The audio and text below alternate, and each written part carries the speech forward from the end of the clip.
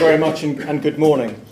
So, you may have picked up, I've, I've written a book, The Business Jet Engine, which has a, uh, an online course to go with it.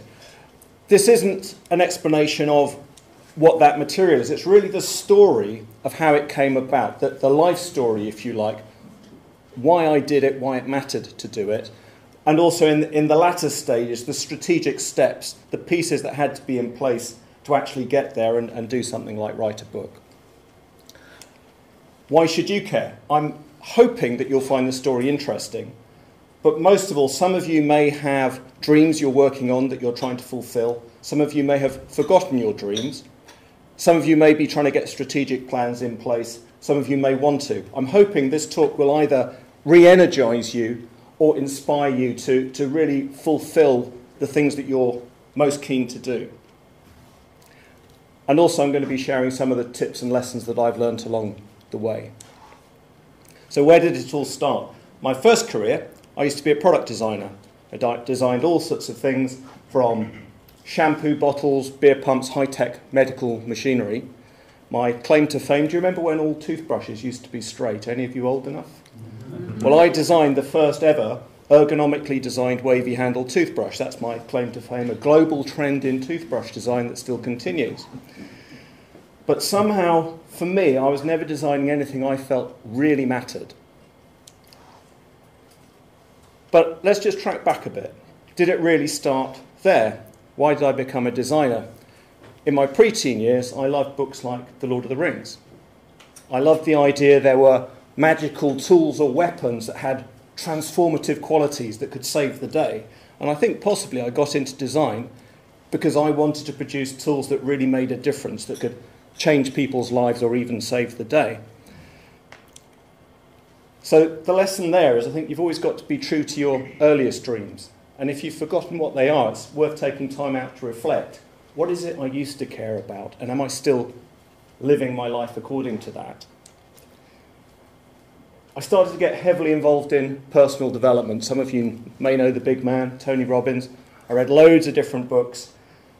But for me, the problem as a designer, they were all words. I was either reading books with words on the page, listening to audio cassettes at the time, which were words through speakers, or if I was lucky, seeing people on stage, again, I was getting words. And I was a designer. I like products, I like tools, I like systems. I wanted to know what to do first, second, and third. So I was quite frustrated with how I was receiving that information. So I started to try and take my design skills and produce better tools. Tried a few different things on the right product I came up with, Mind Zone Football, which is mental attitude training for kids, trying to get them into this world through the medium of football. I invested a lot and I lost a lot. and the lesson there for me was you've got to be clear what you want and why. I was do, doing something I really cared about. So although I failed, I'm really glad I tried. But also, I recognised I didn't really know how to do it yet. And I think that's a key point. If you live with a question, the answer will come how to achieve something. So for me, it was a very important uh, thing to have tried. Following on from that time, I got involved with a leadership coach in central London, Gil Dove, who had some pretty big name clients, and I was helping him research, design, and develop his leadership material. And there's an example of one of the, the earlier projects we did, which took a lot of thinking to come up with a simple diagram. There's a very, very complex message behind that, which we express simply. And it was then a natural step with my design skills and the problem solving process in design to become a coach myself. And I think the lesson there is in life, very little is wasted if nothing is wasted. Skills you learn in one area I find with most clients they can transfer and bring something very unique to a new area. So around 2007, it was time to move on from London, and I started working locally. And those who may remember me from that time was under a different brand, and I was offering leadership coaching and personal coaching. A little bit later, I, I rebranded. I thought it was a clearer message. But that question how do I do something worthwhile? How do I make a tool that counts? What I found, I'd always thought I was going to be working with other people's information. What I found as I established myself locally was I had three very, very good unique systems for business, for leadership, and for life. And it was time to start asking how do I turn those into mass market tools? So this was December 2011. Trying to learn from the past and not make the mistakes of MindZone, where I put everything on the line and lost everything that was on that line, I decided to have a two phase plan. The first phase was to build my face to face coaching to a level where I thought I would have the money and the time still left for phase two to create that mass market product. So I was going to protect my position. So the lesson there always try and minimize your risk, always try and protect your current position with something new. Prototype it, test it, don't risk the whole. By 2013 14, remember we'd had a double dip recession, so it took longer than I'd hoped. I hit that phase one target.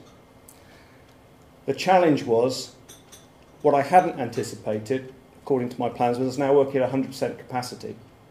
I was working flat out. There's a lot more admin than I expected, particularly with some of the funding streams that were around. I needed admin support, but I was also working from a home office, which kept my costs low, but there wasn't space to work face to face and have that support working for me at the same time. So I had a challenge.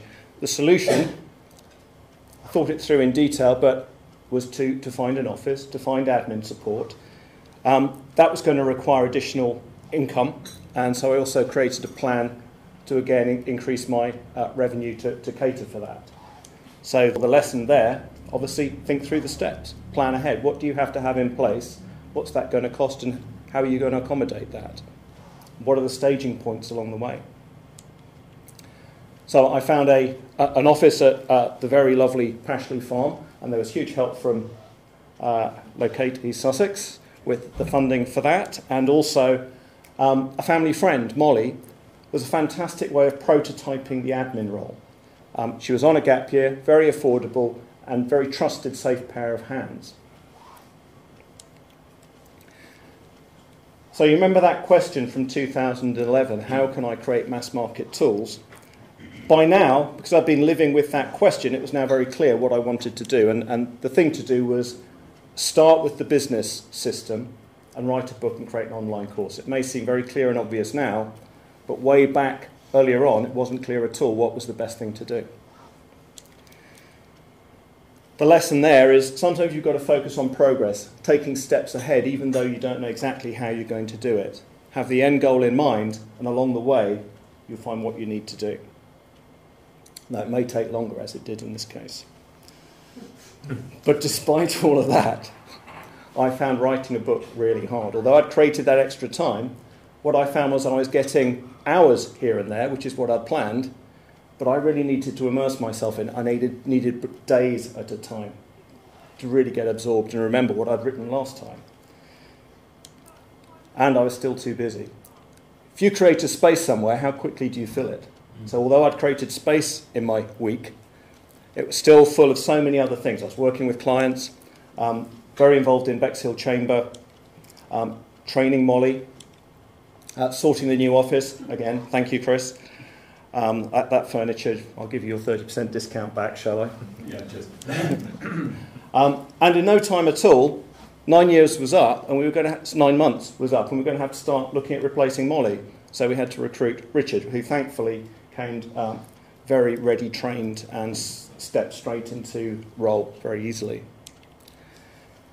And the point here is strategic goals cost, growth costs. They're going to cost you in time, in money, and energy that isn't easy to find. If they're easy to find, everybody would be taking leaps and bounds with their strategic goals. So I had to choose what to focus on, how to solve this, even though I thought I'd already put all those plans in place. So, how was I going to do that? I made the commitment to start taking up my holiday time. Over 14 months, including two summer holidays, I was going to take my holiday and I spent up to seven hours a day on some of those days writing to achieve some of the major stages of the book, um, including long weekends, bank holidays. In addition, I was going to have to reduce my client base to create extra time during the working week. I was going to have to take a reduction in personal income and I was also going to have to pay expert to, to take off me some of the tasks that would take me longest that they could do better and quicker, such as the book cover design, the heavy editing, and the internal layout. And by now it was time to start working to clear deadlines. We had stages laid out, which we had to aim at. Now our path was clearer. I couldn't afford the reduced income indefinitely. the lessons there, and I've learnt this from hill walking, you've got to accept the valleys.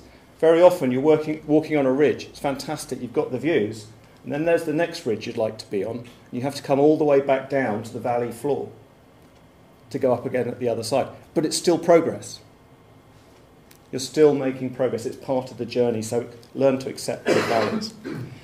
So, another lesson there, you've got to be flexible in your approach. You may know your route, how you'd like to get there, be prepared to adapt. And again, solutions will appear if you keep living with the question, how can I solve this? In the background, there was lots of other work going on. We had to do filming for the videos. Richard was heavily involved in video editing and website creation. Uh, we had to learn how to become a, a book publishing company, online publishing, how to list on Amazon. Huge task.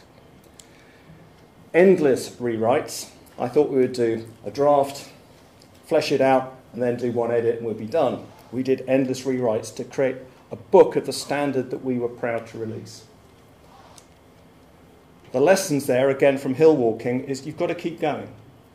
You might pause, you might rest, but in the end, you've got to keep going. And in Nepal, the porters, some of them carry phenomenal weights and they keep going all day where others don't. And the way they do that is they adjust their stride. If they hit a steep bit of hillside, they just take a shorter stride and keep going at the same heart rate. And that's what we had to do to just keep pushing to the end uh, post. And here we are, the first proof off the press.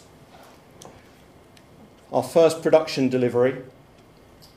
And then finally, the launch party on the 7th of December. And the lesson from the party is you've got to celebrate your wins. You've got to acknowledge what you've achieved, however large or small. You've got to keep noticing what you've done and recognise and acknowledge to yourself along the way what you've, what you've done. So I hope that is in some way interesting to you. And if you've got a dream or a strategic plan, that you can take some of those lessons and apply them to what you're doing. Thank you.